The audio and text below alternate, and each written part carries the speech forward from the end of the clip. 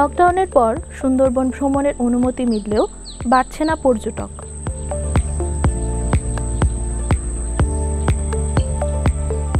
বেহাল যোগাযোগ ব্যবস্থা, থাকার জায়গার সংকট আর সিন্ডিকেটের দৌরাত্মে সুন্দরবন ভ্রমণে আগ্রহ হারাচ্ছেন পর্যটকরা। এখানকার নৌকা এবং অন্য অন্য যে সিন্ডিকেটটা আছে, এটা আরও তো কর্তৃপক্ষের আন্ডারে আসা উচিত এবং টুরিস্টরা যাতে সেফটি পায় সেফটি ফার্স্ট সেই দিক থেকে আরও একটু ভালো উদ্যোগ হওয়াটা প্রয়োজন এবং এখানে হোটেল মোটেল আরও একটু বেটার আশা করি আমরা।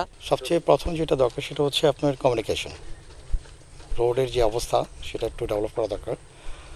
আর রিসোর্ট আরও কিছু হলে ভালো হয় ইকো পার্ক হলে আরও ভালো হয়। এখানকার রাস্তাঘাটের যে অবস্থা দেখলাম এটা যদি ভালো হয় তাহলে পর্যটকরা আসতে সুবিধা হবে। এখানে যোগাযোগের ব্যবস্থাটা আরেকটু ভালো হলে আমার মনে হয় ভালো হতো। তবে সরকার যদি এদিকে একটু দৃষ্টি আকর্ষণ করে, তাহলে পর্যটকরা এখানে এসে মজা পাবে।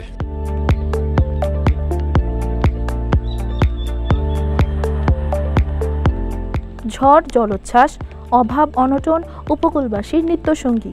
সাতক্ষীরার শ্যামনগর থানার মুন্সীগঞ্জকে পর্যটন কেন্দ্র ঘোষণা হলে অনেক মানুষের কর্মসংস্থানের সুযোগ হবে বলে মনে করছেন স্থানীয় চেয়ারম্যান। সড়ক পথে সুন্দরবন সাতক্ষীরার আকর্ষণ। বিশেষ করে এই অঞ্চলের সুন্দরবন, যেটি অন্তপক্ষে বিশ্ব নৈসর্গিক সৌন্দর্যের একটি লীলাভূমি। এখানে এই অঞ্চলটি অত্যন্ত দারিদ্র্যপীড়িত এবং দুর্যোগপ্রবণ। এই অঞ্চলে বিশেষ করে যদি সুযোগ এবং সম্ভাবনার একটি বিষয় যদি চলে আসে, সেটি হলো পর্যটন। আমরা সদস্য সরকারের কাছে একাধিকবার বিষয়টিতে আমরা আবেদন তুলেছি উপকূলবাসীর পক্ষ থেকে যে এই অঞ্চলকে পর্যটন এলাকা করা হোক। তাহলে যদি পর্যটন এই শিল্পের সাথে এই অঞ্চলে মনে, মোটে না হলেও প্রায় দশ হাজার মানুষ এটার সাথে প্রত্যক্ষভাবে জড়িত। এর বাইরেও বিশেষ করে এখানে অনেক যারা অনেক দোকান ব্যবসায়ী যারা আছে, ক্ষুদ্র ব্যবসায়ী, তারা এটার সাথে জড়িত। সব মিলিয়ে এই শিল্পটি যদি প্রান্তিক জনগণের মাঝখানে কমিউনিটি বেসড এটা ইকো ট্যুরিজম আকারেও যদি অন্তপক্ষে করে দেওয়া যায় তাহলে এখানে মানুষের যে বিকল্প কর্মসংস্থান যেটি মানুষের সবচেয়ে বড় অভাব সেটির মোচন হবে।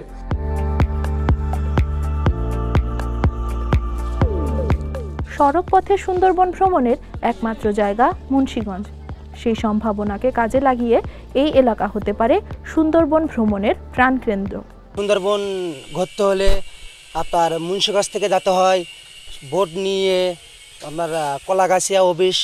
ওখানে যাবার অনেকেই লোক জানে না তারা যে সুন্দরবনকে যেতে হলে কীভাবে যেতে হয় কী পথ কোথা থেকে কোথায় যেতে হবে, এগুলো অনেকই লোক জানে না।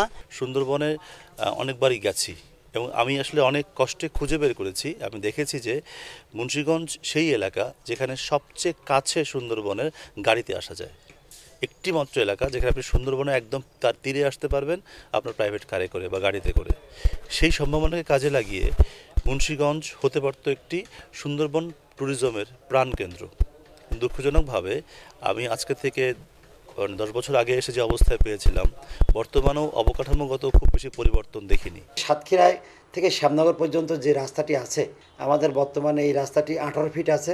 এটি চৌত্রিশ ফিট করার জন্য প্রস্তাবনা প্রেরণ করা হয়েছে এবং অনতি অনতিবিলম্বে হয়তো আমরা আগামী বছর এর বাস্তব কাজ আমরা দেখতে পাবো। এটি যদি হয় তাহলে আমাদের সড়ক যোগাযোগের ব্যবস্থাটাই উল্লেখযোগ্যভাবে সুন্দর হয়ে গেল। তাহলে আমাদের পর্যটনের জন্য যারা আসবে, তারা অত্যন্ত নির্বিঘ্নে সড়ক পথে আসতে পারবে। পাশাপাশি আমাদের বেসরকারি উদ্যোগে এখানে বর্ষা এবং টাইগার পয়েন্ট দুটি পর্যটনের জন্য থাকার জন্য একটি স্থান নির্ধারিত হয়েছে। পাশাপাশি আমরা সরকারি পর্যায়ে আমাদের এই শ্যামনগর উপজেলা পরিষদের বাস্তবায়নে আমাদের আকাশ নীলা বলে একটি ইকো ট্যুরিজম সেন্টার আমরা এখানে স্থাপন করেছি। আমরা পাশে আমাদের আরও সরকারি জমি আছে। সেখানে আমরা যারা পর্যটন দেখার জন্য, সুন্দরবনকে দেখার জন্য যারা আসবেন, তাদের গাড়ি পার্কিংয়ের জন্য যে ব্যবস্থা সেটিও আমরা করেছি।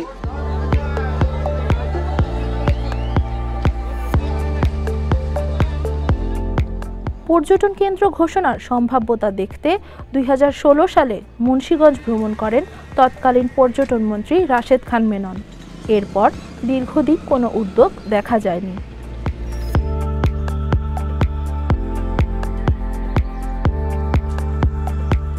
সম্প্রতি প্রধানমন্ত্রীর কার্যালয়ে সুন্দরবনকে পর্যটন কেন্দ্র ঘোষণার দাবি পাঠানো হয়েছে বলে জানান শ্যামনগর উপজেলা নির্বাহী কর্মকর্তা।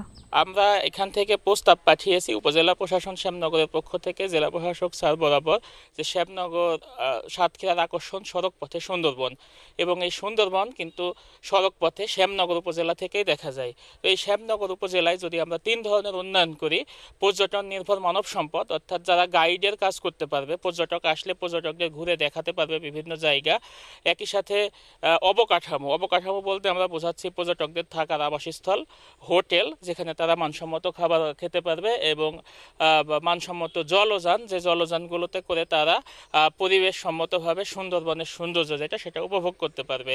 এবং এই প্রস্তাব যদি বাস্তবায়িত হয় তাহলে শ্যামনগরে আপনি দেখবেন যে বেসরকারি উদ্যোগেও অনেক রিসোর্ট গড়ে উঠছে। সরকারি উদ্যোগে যদি এখানে রিসোর্ট গড়ে ওঠে এইরকম সরকারি বা বেসরকারি যে উদ্যোগেই হোক, তাহলে আমার মনে হয় এটা যে রেভিনিউ সুন্দরবন নির্ভর যে রেভিনিউ সেটি অনেকাংশে বৃদ্ধি পাবে এবং এই সুন্দরবন তথা এই অঞ্চলে সাতক্ষীরা শ্যামনগর অঞ্চলের যে পরিস্থিতি সেটি বিশ্বব্যাপী পরিস্থিতি লাভ করবে।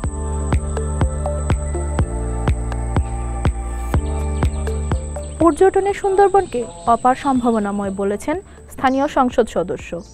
মুন্সীগঞ্জকে পর্যটন কেন্দ্র ঘোষণার বিষয়ে জোর দেওয়া হবে বলে জানান তিনি। সুন্দরবন থেকে আমি নিজে আমি চ্যালেঞ্জ করে বলছি যদি আমরা সেভাবে গড়ে তুলতে পারি তাহলে হাজার হাজার কোটি টাকা আমরা এক সুন্দরবন থেকে ইনকাম করতে পারি। কীভাবে? আমরা সুন্দরবন দেখার জন্য যদি ক্যাবল কার করে দিই ক্যাবল কারে করে তো ওরা সারা সুন্দরবনটাকে দেখবে। এবং ওখানে নান্দনিক কিছু গল্ফ কোর্স করে দিলাম। গল্ফ কোর্স করে দিলে গল্ফ কোর্স থাকলে তারা সেখানে যাবে। ফরেনাররা একটু গল্ফ খেলতে চায়।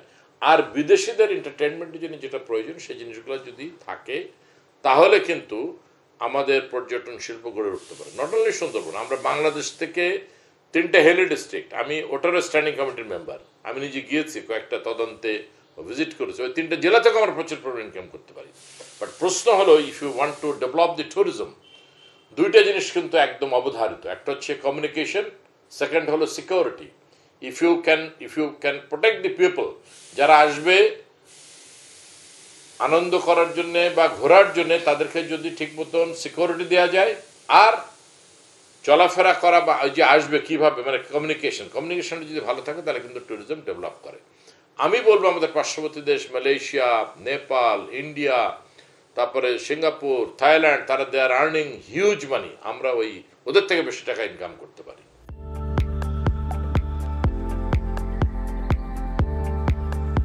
সুপ্রভা সরকার নিউজ বাংলাদেশ